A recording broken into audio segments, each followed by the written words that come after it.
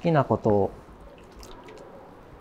やれてる時間ってなんかやっぱ幸せですよね。この音も大好きだし。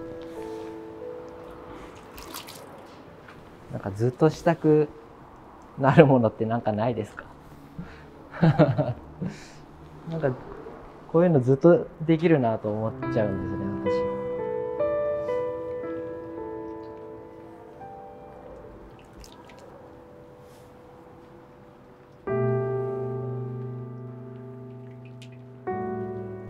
きなのかその無心な状況を心が欲してるのか。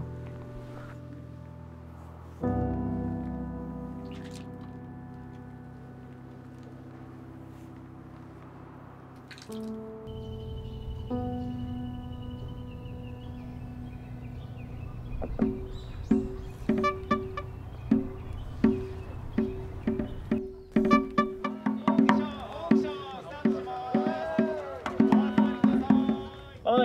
クションスタートします。着席してください。玉鈴さん1万5千円。1万5千円。森田さん5万円です。5万5千円。5万5千円。5万5千円できました。ああもう一声あもう7万5千円。7万5千円です。決定ですおめでと。うございます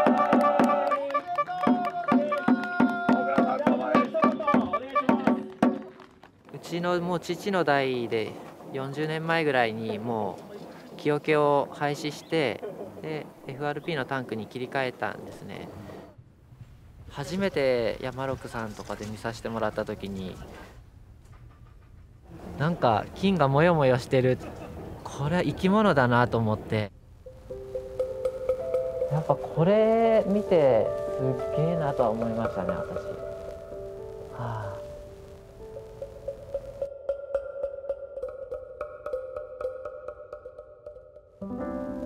なになってるって想像してなかったので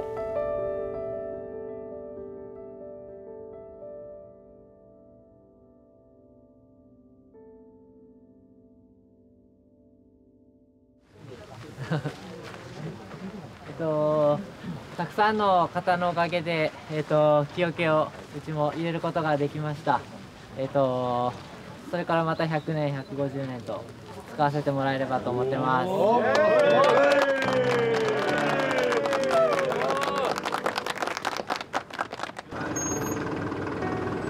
じゃあありがとうごいました。応援してるよこことそっちもここも気をつけてくださいあいったいった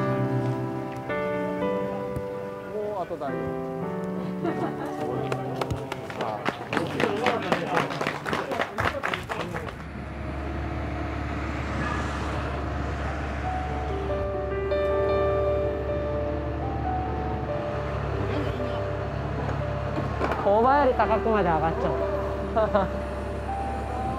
すごいね。私からしてみればあのただ初なんですけど会社の100年の中では復活っていう位置づけになって。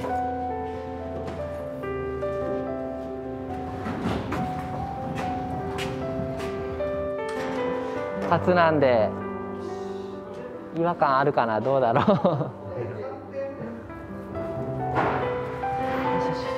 ここに保管してたみたいでえっ、とうちの祖父が使ってた。木桶の底板。ここに住み着いてる金をこの蔵にお引越しさせて置いときたいですね。うん絶対飛んでいきますね。やっぱ空気に漂って。あうちのもモヤモヤしてたんだ。真面目に見たことなかった。山六さんのとこで見たような肌になってますね。そうなんだ。やっぱりうちにもこういう歴史があったんだ。あのいつ死ぬかわからないような炭鉱の掘る人たちに醤油を提供してたんでその頃の時代の木桶なんだなと思います。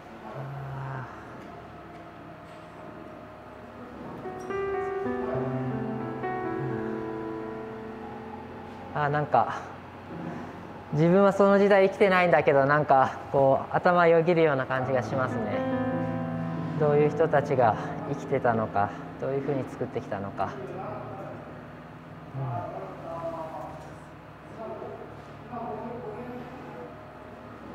うん、私たちの時代はまた一味違う時代ですけどから私の作りたい醤油もまた当時とはきっと違うんですね。塩味ももうちょっと薄くしたいし。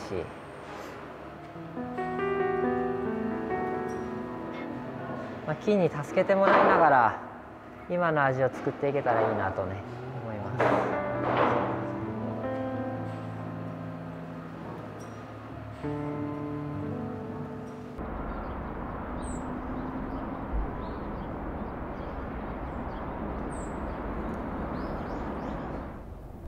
触っても全然大丈夫ですよ。これから崩していくんで、はい。やっぱ固まるんですね。昨日手入れて崩してあげたんですけど。これだけ固まったんですね。はい。禁止があったかすごあったかい。発酵熱発酵熱ですね。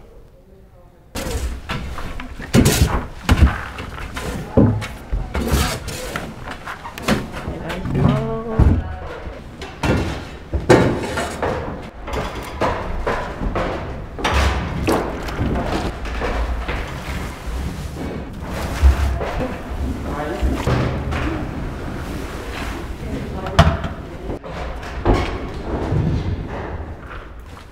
っぱ世話してると可愛くなってきますよね余計に。麹作りの時にちゃんと作られた酵素が中で活躍してくれるんで。0歳児ですね。体の中でこうね育って産み落とした状態です。ここからまた育てていくっていう。この段階で何か気をつけることってあるんですか？この段階はあの頑張ってるとこ言うのもあれだけどなるべく早く混ぜる。やばい。やばい。やばい。やばい。かなこれ木桶の底板なんですねあれそこにあるんですかはい。蓋じゃなくてうちの前の蔵の木桶の底板なんですよ当時の金がまた復活して当時の味になってい。くんじゃない。かなと思って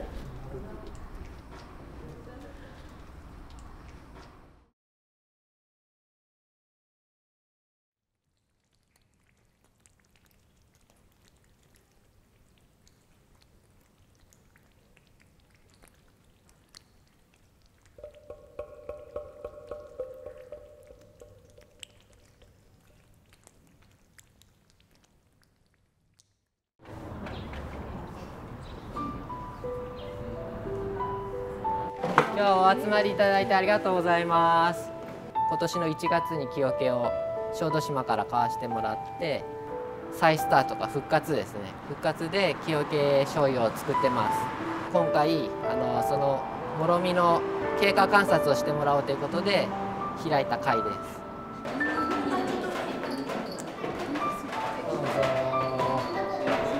ぜひ混ぜてあげてください。れが醤油のもろみです。塩水にあの醤油用の麹を仕込んで今7ヶ月ぐらい経った状態です。これをこうめっちゃ力いりますね。すごい。で梅雨時期とか三幕酵母がこう表面に生えてきた時は落とし込んであげます。それを中まで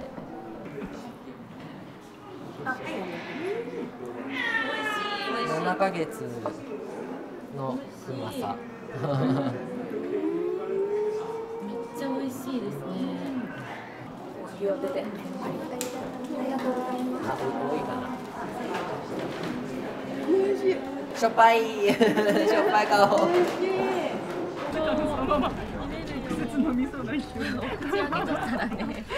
絞りますね。ん？出てきました。醤油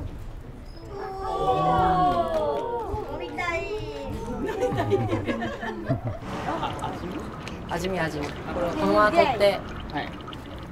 取って。味見。一番搾り醤油よ。えー、絞りたての醤油よ。さ爽やかな、うん、優しい色してますね。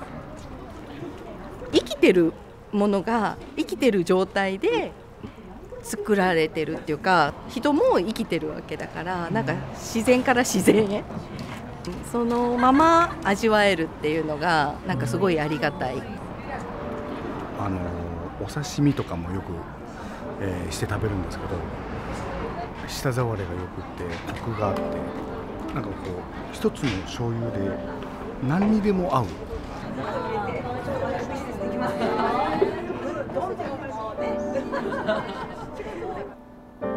やっぱ木桶のその良さって多分みんな DNA にこう刻み込まれてるんじゃないかな。もう見ただけでこううわすごいってなるから。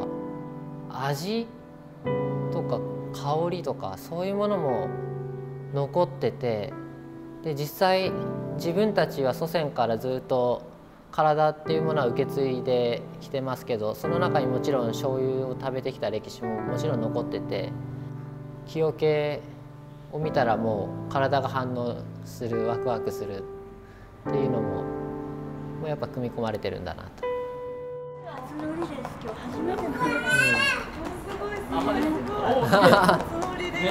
めっちゃすごいよ。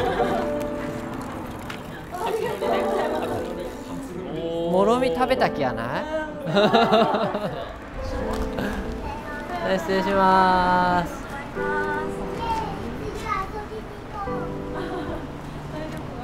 有り余っとね。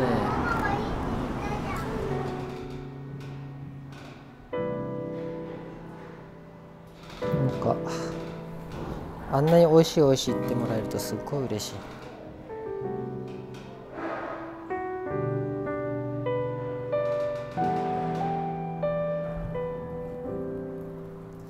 醤油作り講座するときに美味しくなれって言いながら混ぜてくださいってお客さんに言うから自分も美味しくなれって一応言うんですよね 絶対伝わるよなと思いながら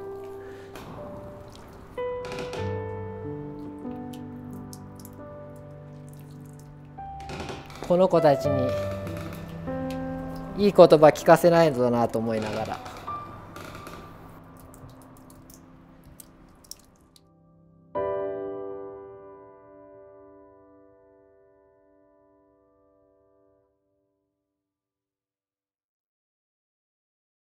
一つあの問題があってあの結婚を考えてはいるというもののプロポーズをまだしていなくて。もう5回ぐらいですねプロポーズをして断り続けられて。今結婚しろって言われたら別れるって言われたこともありまして。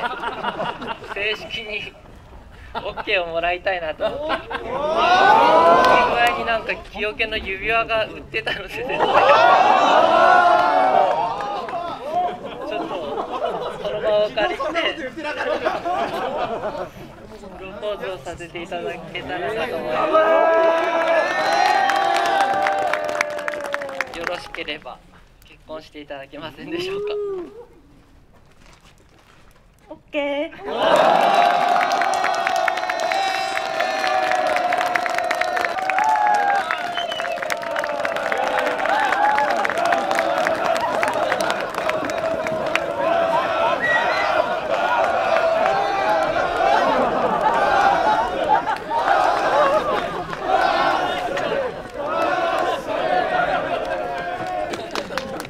私からもあの一言よろしいでしょうか。あの FRP でお醤油を作っている慶三さんよりもやっぱり木桶でお醤油を作っている慶三さんの方がかっこよかったっていう。の